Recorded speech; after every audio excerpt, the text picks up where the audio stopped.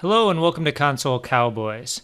So, I just wanted to give you guys a quick update on RFCrack. So, I've been informed that the RFCat libraries have been updated to Python 3.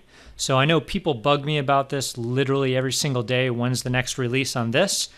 I will be back in the States in about two weeks and I will grab my hardware and I will start updating it for Python 3 now that the official libraries have been updated. After that, I'll look into some upgrades, fixes, maybe some more features. But to start off, I just want the basic functionality to be working with Python 3 now that we have an official library to work with and nothing holding us back. So that's all this video is. I just wanted to update all of the RF people who are always asking me this question because I wasn't about to go update it when we were between versions and kind of waste time in development I'd have to fix later. But we should be good to go now, and I'm going to get started on coding for that.